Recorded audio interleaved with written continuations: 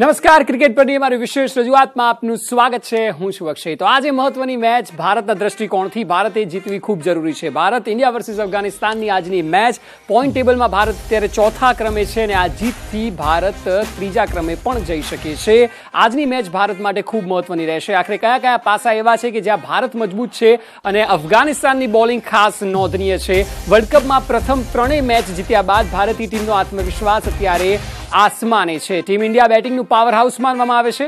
ભારતીય ટીમ પાસે Rohit Sharma, K L Rahul, captain Kohli, Mahendra Singh Dhoni, Hardik Pandya આવા ધુઆધાર બેટ્સમેનોની ફોજ છે, જે અફઘાન બોલિંગ એટેકને વેરવિખેર કરી શકે છે. બીજી તરફ, ભારત પાસે બોલિંગ ડિપાર્ટમેન્ટની વાત કરીએ તો જસપ્રીત બુમરાહ કુલદીપ ચહલ, ભુવનેશ્વર શામી જો એન્ટર થાય તો તે પણ આ તમામ બોલર છે. મેચમાં ભારતનું પલ્લું ખૂબ જ ભારું, ભારી લાગી રહ્યું છે.